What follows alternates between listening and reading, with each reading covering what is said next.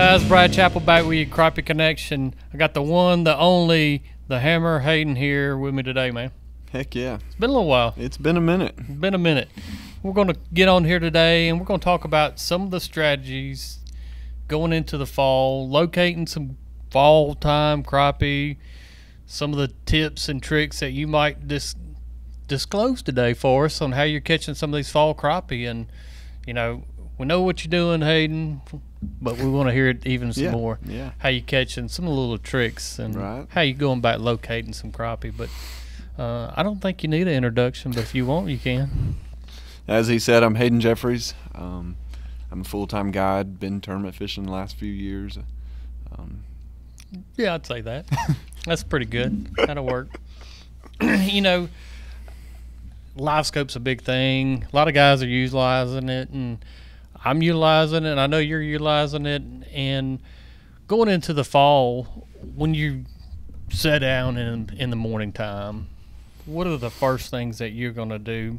Kind of walk through what you're doing whenever you're going to any body of water. And we'll talk about Barnett, of course, some, but and I know you've fished a bunch of different lakes across the country as well. But first time in the morning, what are you looking at when you're starting your mornings? yeah, so I think I'm even gonna have to start before I get to the lake in the morning. Um, Hmm. I'm always gonna have to check the weather. That's gonna be Yeah. my first. You know, um, I want to see what the wind's doing, see what areas of the lake I can actually fish that day. Um, see if there's any kind of weather you have to play or dodge. Um, this time of year, you know, pop-up showers can happen at any time. Yeah. Um, but then once you know, I pick the location I want to go, no matter where that is, um, and I kind of start getting in there. It seems like in the fall I'm gonna start looking more towards the deeper water. Um, a lot of fish, you know, they they've spawned, they've came back out, they've set up on shallow brush, they've hang, hung out for the summer, and that lake starts losing oxygen. You know, farther in the summer you go, and so those fish are kind of falling out with that. Um, so I'm starting to look in that deeper water. Let's say 15 to 25 foot of water would be my good starting point basis. Um, a lot of structure comes into play during the fall. You know, seeing a lot of fish sitting on big stumps and brush piles, whatever it may be. Um, I'd go in the standing timber some, but I try to stay out of it as much as possible, just because it's it's hard to navigate. Um, let's see. But let's say, all right, you're out there, you picked your location on the lake. I want to know, like, your screen distance and some of the basics that you're doing from the putting that trolling motor down and start looking for fish. What are you looking for when you're looking at your screen? Yeah, so most of the summer our fish are sitting on structure, so I'm looking for structure. But you start getting into the fall and you start to get some of those fish breaking off structure. Um, so there's some fish in open water. Um, if I first sit down on my screen, I'm probably going to jump out to 50 feet, somewhere in there. Um, when I have people with me, I might even start a little bit closer than that, just to where I can kind of start teaching them what we're seeing, what's coming across it, um, start breaking that down a little bit and then I'm just gonna start covering, you know, whatever area What are, the you, lake. what are you breaking down to them? Um, I have a little 15 or 20 minute course that, that we do every Let's morning. Uh, that just helps them get an understanding of what you know what this sonar actually is, what we're looking at in the column. Um, so I'll tell them, you know, we'll get out there in the morning. I always catch the first two fish. That's something I've been guiding for a little over two years now, and I've always caught the first two fish. Um, it gives me a basis, you know, to understand what these fish might be doing on that given day. And so I'm always going to pick the pole up and, be like- and get them up, get everybody to the front of the boat. Let's, you know, have our little course here. And I'm going to tell them, okay, this is a scope. Just like you're looking through the scope of a gun, that's kind of what we're looking at right here. I guess, can I say gun? Yeah. okay, I didn't. It is what it is. yeah. And it's a scope. So I start explaining to them, you know, we're not looking at a big wide cone of water. We're looking, you know, just like you were with a scope. You're looking at a really tight section of that water column, and I, you know, I'm going to show them zero feet. Okay, we're right here. This is this is that trolling motor sitting in front of you, and I'll show them, you know, as I pan the trolling motor, it's um it's changing what we're looking at, the bottom contour, structure, or whatever it may be. Um, that's where I start. I start bare basic, and we get that down, and then I'm going to pick a pole up, and I'm going to say, okay, you know, that trolling motor's right there. So if I take this bait and I set it over here, we're never going to see it. Yeah. If I take this bait and I set it right there, here it comes. So they, then they kind of get a grasp of you know what we're doing there. Then I'm going to start easing down through there and see if I can't pick a fish out. And once I pick it out, I'm going to show it to them. As soon as I see the fish, I'm going to be like, okay, look, this is what, you know, we're approaching a target. I'm going to start slowing down, getting everything set up, and I'm going to try to get this fish to, say, 10 feet. Some days 12. It just depends. Somewhere in that, you know, window. And I'm going to ease in there and show them, you know, here comes my bait. I'm going to stop way above the fish, make sure everything's ready, and then I'm going to ease down to them. And um, it, it always helps me to start my trip off with my little class. Um, it, it cuts a lot of the curve for them to where they're not having to try to understand what we're doing. I gave them a you know a basis of what we're doing, and then we just run with it. Um, mm-hmm. I'll catch those two fish, see how those fish reacted, how they bit. I might even get up and change a bait if I didn't like the way something happened. Um, some days I fish for 30 minutes and I don't catch two fish, right. and that's that's the days that you know it gets interesting. Um, you got to work a little harder those days, but um, I'm gonna I'm gonna hand them the pole, and then we're gonna start trying to replicate what you know they just saw. Um, and it usually doesn't take people long; they're able to kind of start picking up um, what we're doing, and you know it's always kind of entertaining. And you know we've done it for many hours now, but they see that fish a little bit further away, the first thing they want to do is what? Go right. Move right. like, and you have to right you have to the remind screen. them, you know, that you're that you're seeing distance. We're not seeing left and right. All of our left and right's in that trolling motor. And I think, you know, guiding a lot of your clients have a hard time understanding the left and right aspect because they're not running the trolling motor. Mm-hmm. You know, when you're yeah. when you've got your foot on the trolling motor and you're panning it back and forth, you can tell, okay, I'm turning right. This fish is going right, or yeah. and you can kind of feel it more than just if I'm holding a rod watching a screen. Yes, you can look up at the trolling motor, but a lot of times they'll forget to do that, and so you know you kind of have to remind them, hey, look, that's that's just a little farther out. What is in your mind? What is the most common mistake people do. It's probably that right right there, I would say. But what would be another mistake that people first thing they typically do? And, and, you know, we're just trying to help people out by saying this, but what would be probably the most common mistake an angler does when they first try to use live scope in your boat? I know probably pulled the right with the right turn there, but I'm gonna say um, they're looking for their bait a lot. Like you know, I can't find my bait. Where's my bait? Yeah. Um, my bait's not on the screen right now. And and when we're approaching a fish and the bait's, you know, I'm not really as much worried about where the bait is when we're coming in there. I'm more worried about making sure you know this big boat's coming here and settling down in the right way. Um, the bait's gonna you know come out from under the boat or when they drop it in. They, I just have to really teach to get that bait in the cone with the fish. You know, we've got our fish right here. That's our target. Um, we'll never see our bait until it's in you know target with that fish, and then it all lines up and it you get to watch the fish come up and bite it. Yeah, it's always really cool to watch people's first time they're using live scope and they're like, "This thing is just so amazing," and I mean it is. There's no doubt, and but and I guess we got kind of going on this learning the live scope system, which is fine. I like the subject, you know. yeah, but we'll run with that right now. Yeah, let's go.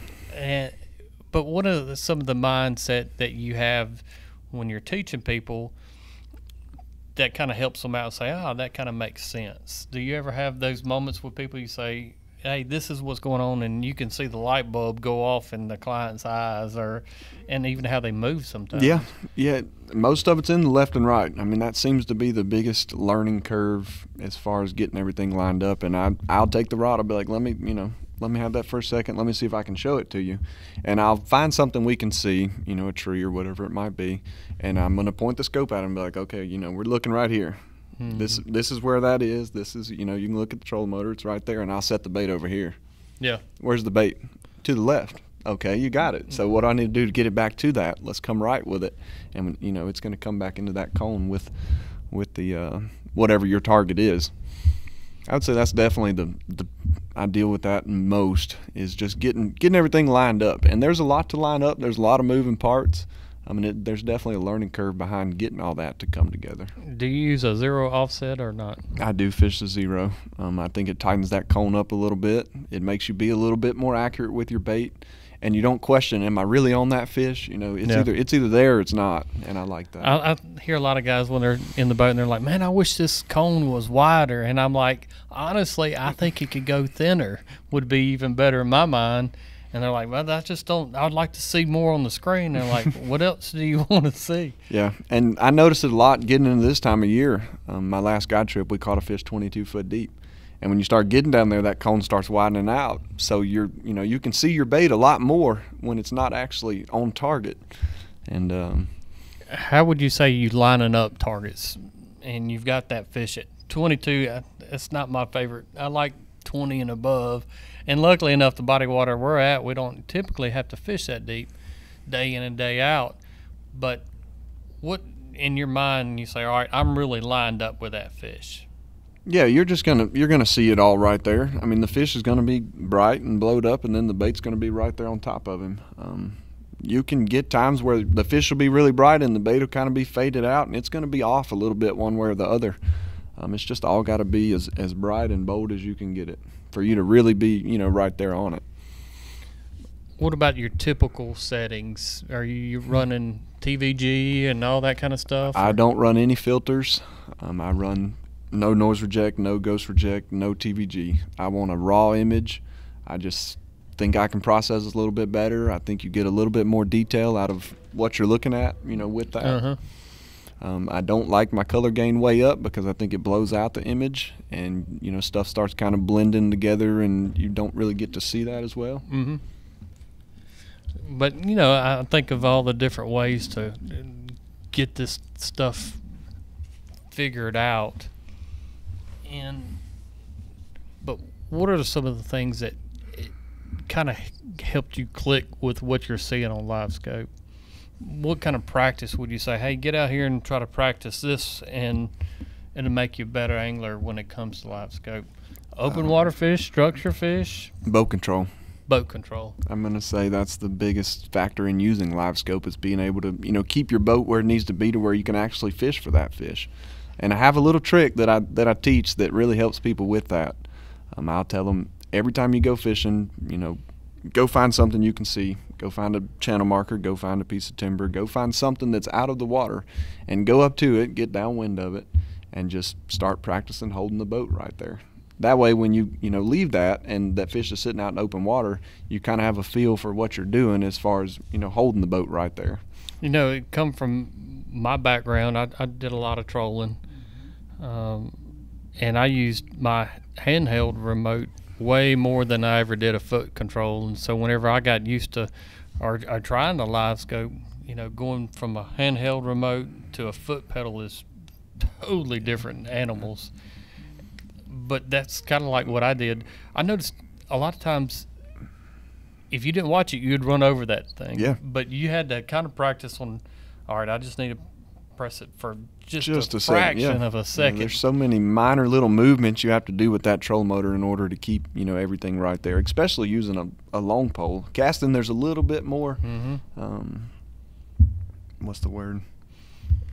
Finesse. Uh, there's a little bit more. I don't know. You don't have to be quite as mm-hmm. right there. You know, but when you've got that long pole in your hand, you're getting within 15 feet of this fish. It's all got to happen, and you've got to get that boat broke down and it um you learn to feel it. You learn to feel how that boat's responding to say this wave coming, or you know, you might even have some current or wind or whatever it may be, and you learn, you feel it almost ahead of time to where you can kind of go ahead and react to getting that boat in control and keeping it there. Did you go out and actually just practice boat control? Or? I, I can remember. Um, it's probably been four years ago.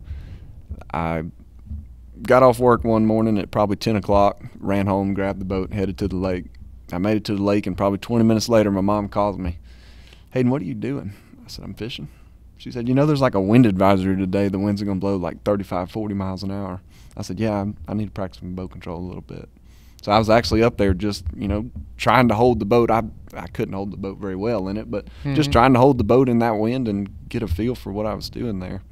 And you think of fishing, a lot of people like, man, I don't, I'm not going to go out there and practice boat control because you think, well, I want to go fishing. I'm gonna go. I'm gonna throw some lines out. But in reality, especially starting out, that boat control is, you know, it's huge. It's huge.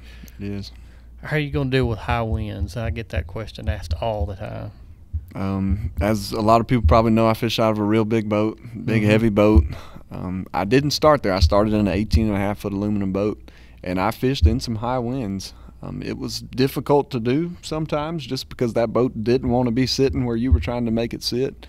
Um, it's almost a mental mindset, you know, going into, let's say it's a tournament and you're going into it in 20 mile an hour winds. You almost have to build a mental mindset before you even get out there. Um, just to almost make yourself comfortable, you know, knowing, okay, this is what I'm dealing with. This is what I'm going to have to deal with over the course of the day.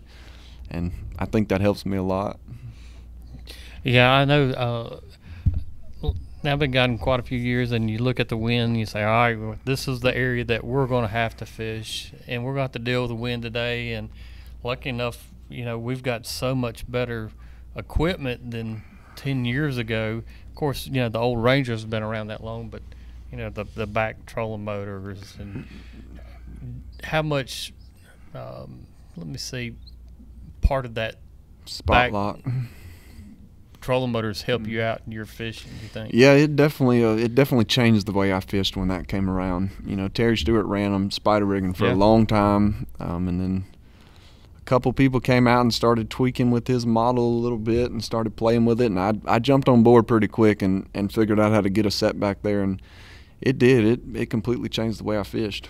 Um, I, I remember Terry Stewart and he did really good, and, and, everybody was like, "Man, I wonder why those trolling motors made such a difference." And all of a sudden, forward facing sonar come out, and everybody started getting it, and they're like, "Ah, yeah, you, you, can see it. it." It is such a, a, a. It takes the word boat control to a new level. You know, being able to actually keep my transducer on target and stop my boat at the same time. Because before that, you know, I'm approaching a fish, you've got to spin the front trolling motor around if you're moving too fast. Yeah. Well, when you do that, you lose sight of what you're looking at. Okay. So, you know, you're guessing, did the fish turn and run? Did the fish, you don't know what he's doing in that two to three, maybe five second window. Um, now you can keep it on target and, you know, stay on the fish as you're approaching him with those rear trolling motors. What about chasing down fish? And I know you're really known to chase down these fish. And what are some of the keys to being able to chase down an open water fish and that man they get so hard. Even you know for me and i'm up front and running the trolling motor and holding this pole but what are some of the mind uh, the things in your mind that helps you chase down fish compared to some other people that struggle with that? Me I'm going to say worry less about keeping the bait in front of him and just kind of worry more on staying with the fish. You know, make sure that he doesn't make some crazy mm-hmm. turn and you, you know, oh, and you lose it or whatever. Um, you really have two different ways you can chase a fish. So if that fish is, let's say, 10 feet, 10 feet or higher in the water column, I can rig a little bit heavier than I normally would, and I can get the bait out in front of that fish and almost troll with him. Mm-hmm. But when that fish starts sinking down, you can't you know the line's going to swing so far in the boat you can't do that. So then i'm then i'm pitching in front of the fish and just trying to fall in front of him as i'm going down through there and hopefully you know get in front of him in a correct presentation to where that fish will turn around on it. Do you um, recall one fish that that you I mean, I've got one this spring that I remember chasing that I, I was like this has got to be like it had to be a three and a half pounder just by looking at it on the screen. And I, I literally chased the fish for a quarter mile, and he eventually won. You ever had a fish that beat you? I have. I have. I can remember this spring I was up on Grenada. Um, I guided eight days up there, and there was one day when we really wanted a three pounder. I mean, we spent a full eight, nine, ten hours out there looking for it. And it was later in the afternoon we got on a fish, and when I saw it, I said, "Here it is. You know, this is our fish." And we chased that fish for forty something minutes. Um, probably covered a little over a mile of water following this thing and uh, the fish wasn't two foot under the surface, and he never reacted to a bait in 43 minutes. Um, the only time that fish would respond is when he ran up to a tree and met a tree. He had to decide which way he was going, but that fish beat us. Um, the person that was sitting next to me finally just said, "Hey, I don't think my arms can take it any longer. If you want to try it, you can." I said, "I'm I'm I'm gonna pass. I don't think that fish is even you know, I don't think it's considering it." And we we gave up. What do you think was? Do you think that fish was spooked or just wasn't feeding? I'm, I don't know. I don't know. We never got a positive reaction out of that fish. It never even slightly looked up at a bait. How many times will a fish bite typically if he misses the first time? I think it depends on the fish. Um, I've had fish that never bite again after they, you know, you Mhm. miss them or whatever, and then I've had fish that you might miss twice or three times before you finally get a hook in it. I know that's probably the most aggravating me. You'll chase a fish for a while, and all of a sudden, it'll miss it, or the person will miss it. I might miss it, whoever, and you're like, I don't know if I need to go back after it again or not. A lot of times, me now, I'm like, oh, forget it. there's so many fish here. Let's just don't worry about that one. Leave him for another day. He's outsmarted us. But uh, do you typically try to go after him again, or is that just like a day to day? Thing? Yeah, I'm gonna say there's a happy medium in there. Um, you're you're reading that fish's reaction. Um, say you say you chase that fish down and you miss him, and then you get back on him and you try to show him that bait again, and the fish just completely ignores it.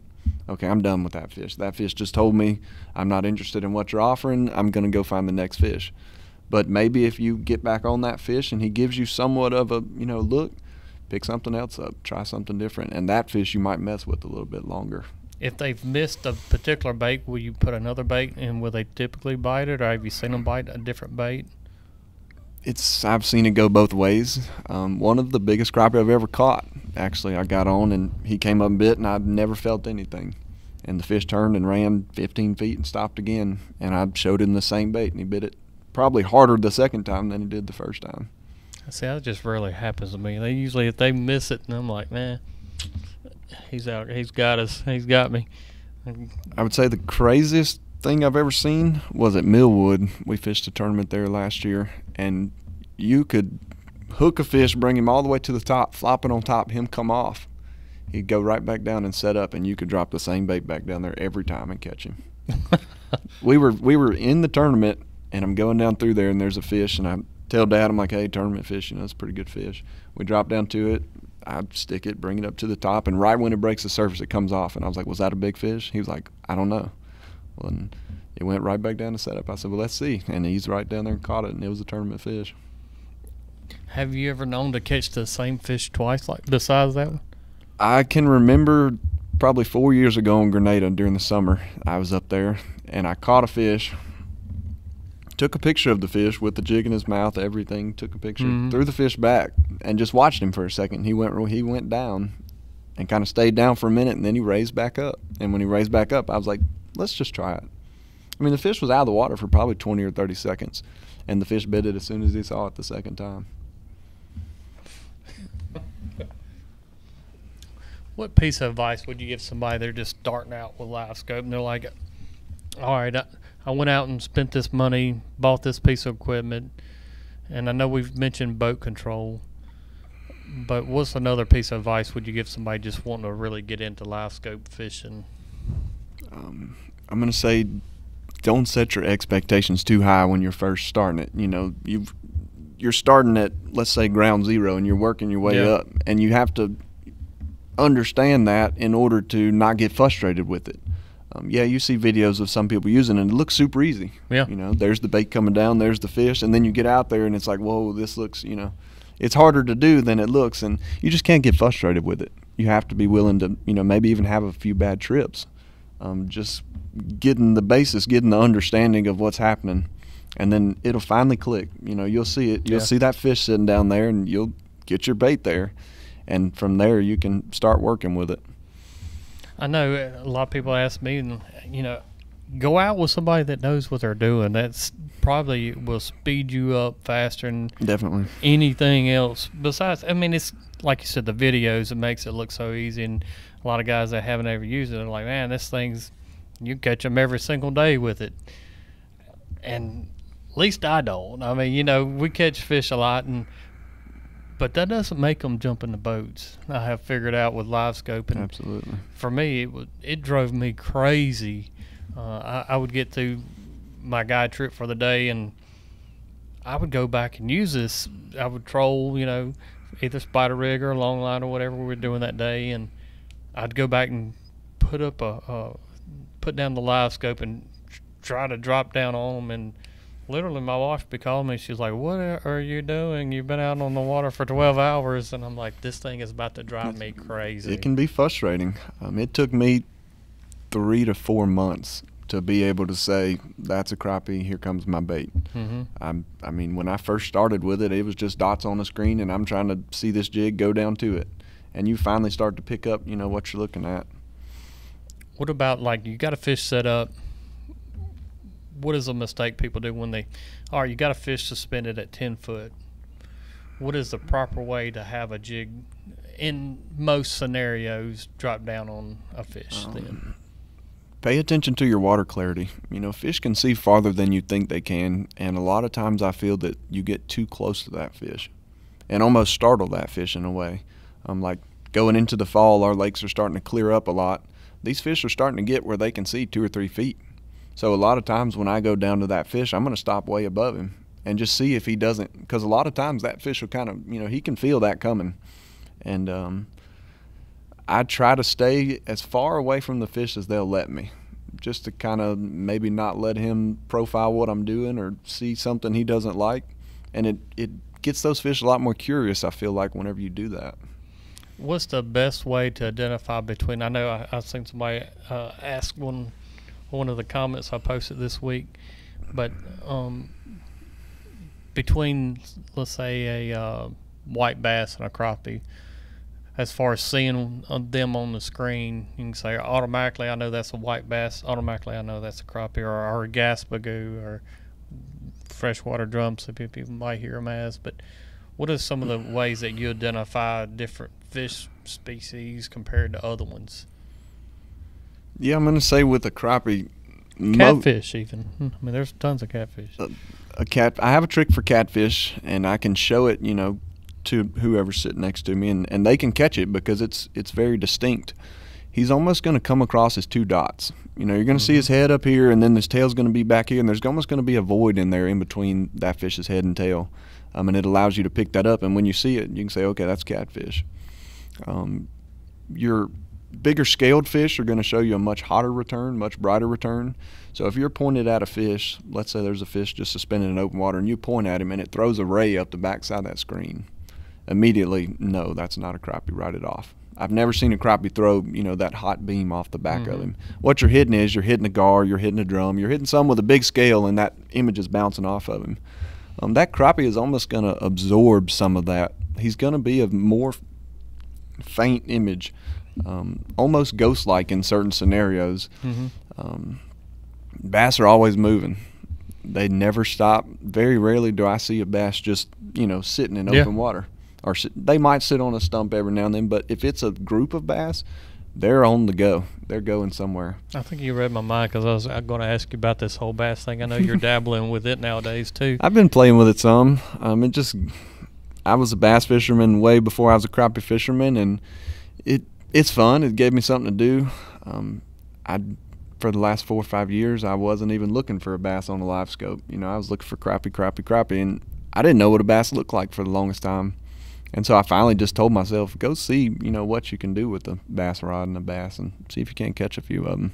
How hard are, is, is it harder to target bass than crappie? You think? I can't make them bite. I will say that.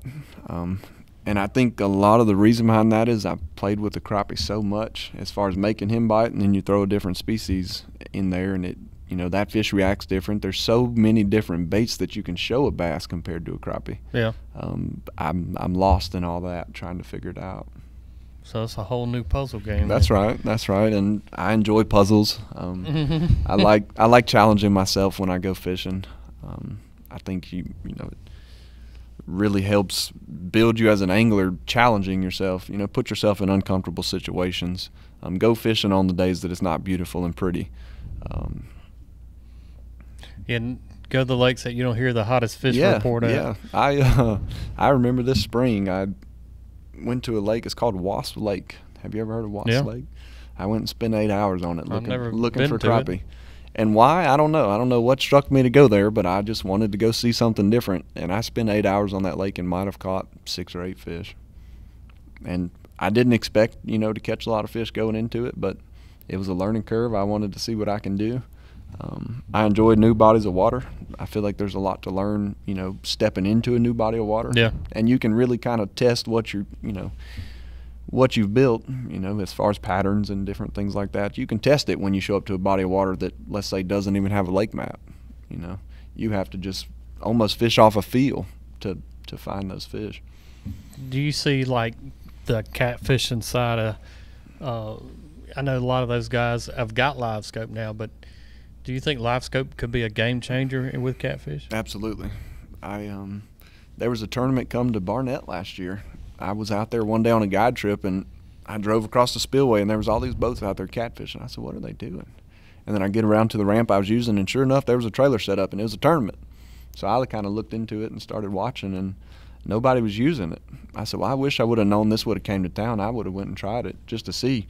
I see catfish every day. I'm sure you do too. Yep. Um, I've never tried to actually present a bait to a catfish and see how he responded to it, but I definitely think um, they're they're targetable. Let me make sure this thing's still working. But oh yeah, I think we're still good. Sorry about that, guys. I think it's so interesting that um, y- you know it hasn't been really fully utilized. I don't think in the catfishing side of things. I keep saying, and I've been saying it for probably a year and a half now, that I was going to go out there and see if I couldn't identify a 40 pound catfish or whatever and drop a bait down there and see if he wouldn't bite it. Um, I've yet to try it. It's something that I want to try. I just haven't set the time aside to go do it. What do you think was the, some of the craziest things you've seen with live scope? Any fish species, whether it be a crappie or a gar or whatever. It's got to be something that you said, "Wow." there's it's really I've talked about this to a few of my friends.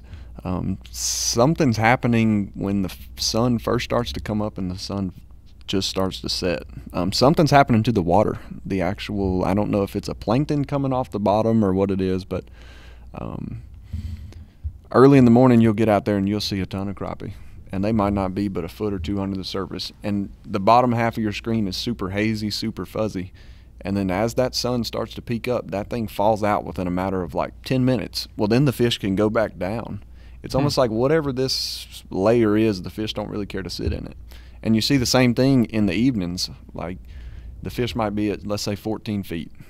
And then the sun starts to go down. And next thing you know, that whatever that line is, I've actually watched it come off bottom and just kind of start easing up. Yeah. And it pushes the fish with it. That's probably the weirdest thing I've seen with live scope that I still don't understand fully. What in your mind would be the hardest style to catch crappie with live scope? Would it be chasing them open water, or laying on the bottom, or Laying on the bottom. let's hear it? It's uh it's it's very tricky. You have to be able to see something, you know, you can't just drop them. I guess you could just drop and drag on bottom Yeah. and hope to see something raise up, but That's um, fishing there. I studied it for a two or three month period on Eagle Lake. You know, those fish Mhm. are notorious for going to the bottom and staying down there. And I spent a lot of time over there messing with them. Um, basically, just started dropping on those glowing hot spots that I saw on the bottom, and it took hours and hours and hours before I was finally able to see a dot down there and somewhat identify it. Hmm. I'm trying to keep on grilling you here. Now, Ryan. I will say, out of all the tournaments I've won, I've only won one or two catching fish off the bottom. I know that was a big thing that a lot of people were saying he's got to be fishing the bottom. He's got to be fishing the bottom. There was only one or two instances where that really played a factor.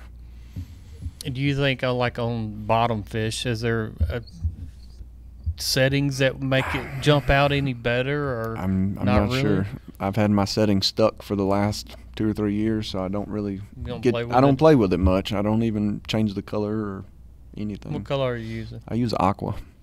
Yeah, Um, no, it's it's a super. I don't know. It just why you use aqua. it works with my eyes. I don't know. yeah, I guess it does work with your eyes. I It's like uh. black emerald and um, Aqua almost seems to be a little bit softer of a color um, Mhm. palette. Mm. Uh oh, that battery might be battery dead. battery's almost dead. Keep on where you going.